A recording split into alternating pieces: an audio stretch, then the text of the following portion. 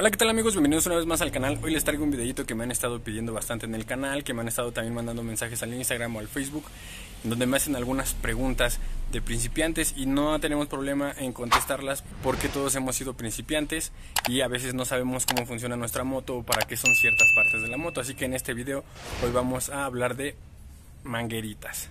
Les voy a explicar más o menos un poco sobre el periodo de asentamiento que debemos revisar cuando nos dan la motocicleta y este también para qué son ciertas mangueritas que aparecen en que están en nuestra motocicleta y que en la primera vez que las vemos cortadas no sabemos ni qué son y nos asustamos. Entonces amigos, hoy vamos a hablar sobre eso y así que si no eres principiante este video no es para ti.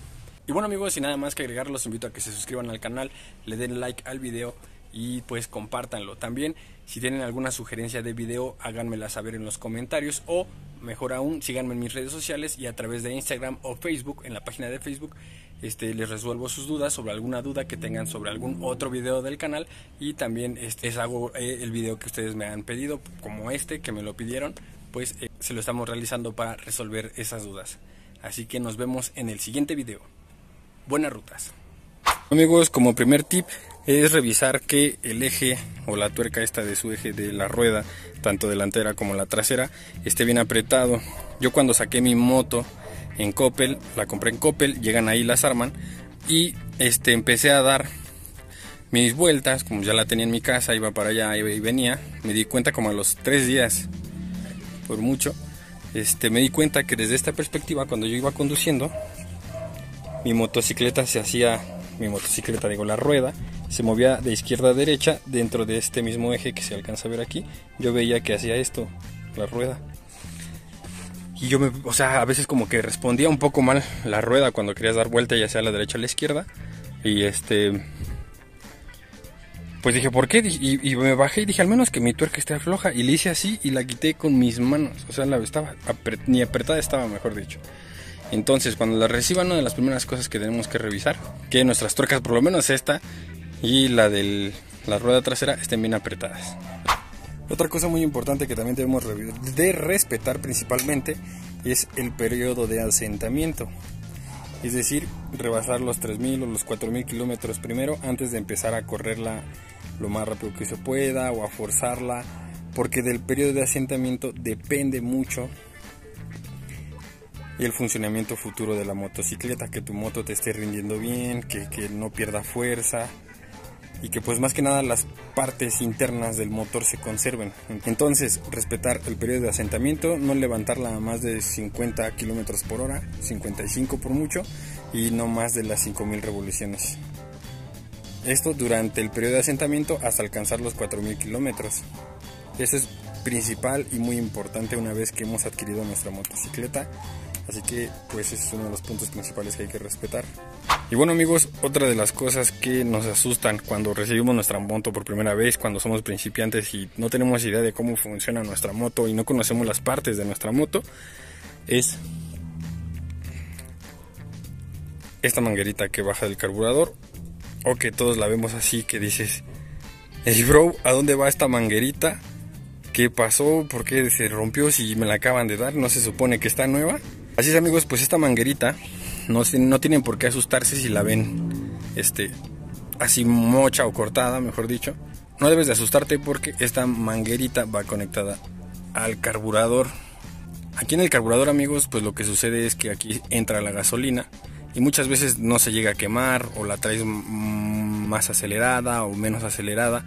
Entonces, por alguna cuestión se queda la gasolina aquí dentro de esta bandejita, se podría decir, y ese exceso de gasolina que se queda aquí escurre por esta manguerita. Entonces esta manguerita es para purgar, para sacar el exceso de gasolina que pueda quedarse aquí dentro de la, del carburador. Entonces esta básicamente se, se usa para drenar esta manguerita y pues como pueden ver va hasta el medio del en medio del del cuadro o sea que no, no caiga en alguna otra parte del, del, del cuadro de la motocicleta. Como pueden ver pues aquí pues esta, esta manguerita pues sí se ve que ha escurrido un poquitín de gasolina pero pues esa es la función de, de esta manguerita.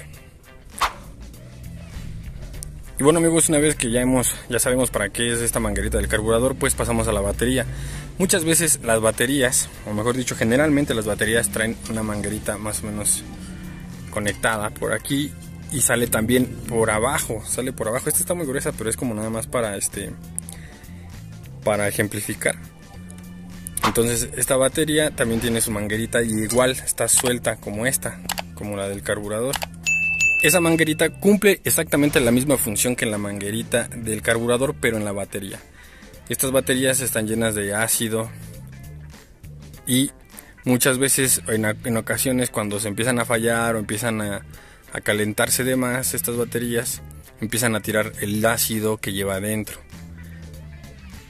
Y entonces ese ácido se sale por la manguerita que es igual más o menos de delgada que esta, pero es transparente, generalmente es como de este colorcito.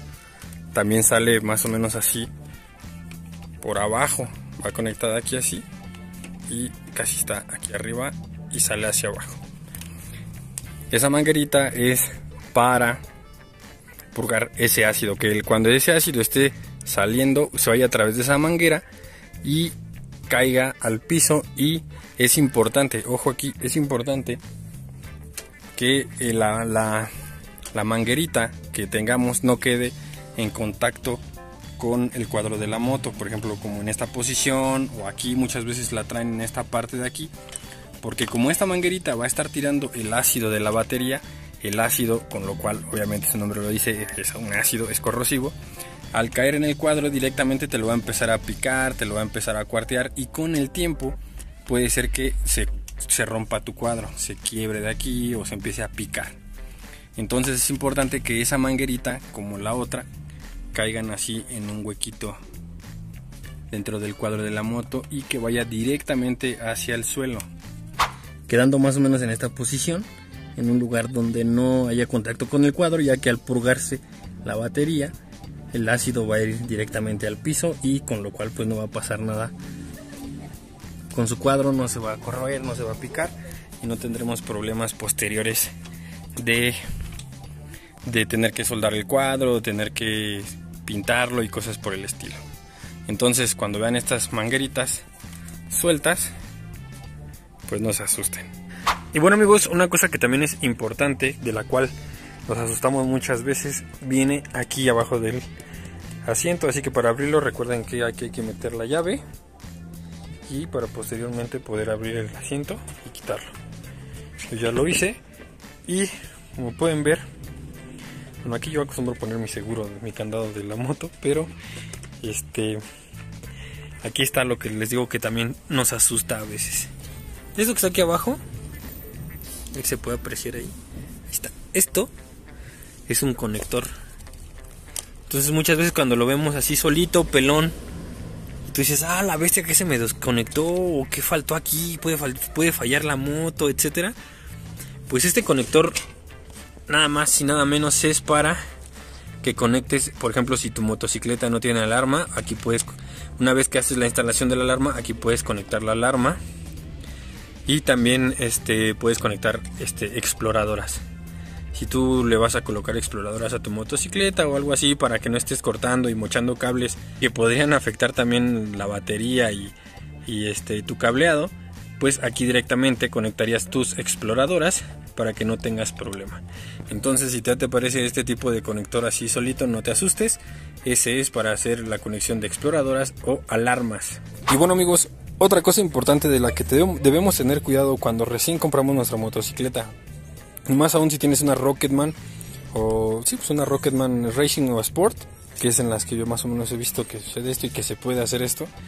Es la hora a la hora de destapar tu tu tanque de gasolina, o mejor dicho, a la hora de poner tu tanque. Vamos a quitarlo para ejemplificar. Muchas veces cuando vamos a cargar gasolina, pues quitamos el tanque normal y dices, pues ya, échale, te, llenan tu tanque o o ya te ponen tu gasolina y a la hora de cerrarlo, como no, no nos fijamos cómo lo quitamos, a la hora de ponerlo no lo pones en la posición correcta y lo pones al revés. A mí me pasó que en la primera vez lo puse al revés. Lo puse al revés y no podía salir mi llave. De hecho, cuando lo pones al revés, la llave no sale. la llave se queda ahí. Yo lo acabo de poner bien. Como referencia, tomar en cuenta que aquí se hace una especie de flecha, como pueden ver.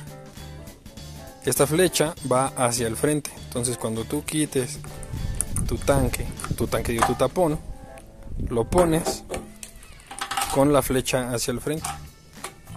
Ya que haga un pequeño clic, listo, ya sale tu, tu llave.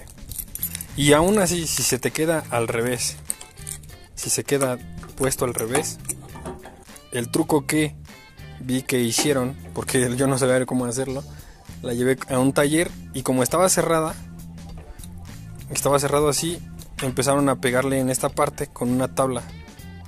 Estaba la tabla aquí y a la tabla le pegaban con un martillo, obviamente pequeños golpecitos y la, tapa iba girando, iba haciendo esto hasta que llegó a su posición final donde como ya estaba aquí pues ya podía yo sacar mi llave.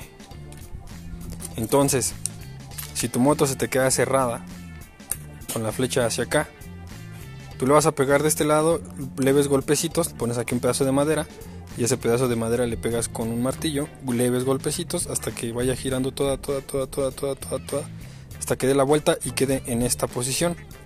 En esta posición pues ya ya te va a botar solita la este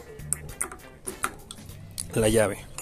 Ese es mi consejo si pasa que tu tapón se te queda trabado. Bueno amigos, si este video les sirvió, los invito a que se suscriban al canal, le den like al video y que lo compartan. También los invito a que me sigan en mi página de Facebook, que me sigan en Instagram. Y si tienen alguna sugerencia de video, déjenmela en los comentarios o mándenmela a través de algún mensajito ahí en Instagram o en la página de Facebook. Y sin más que agregar, nos vemos en el siguiente video. Buenas rutas.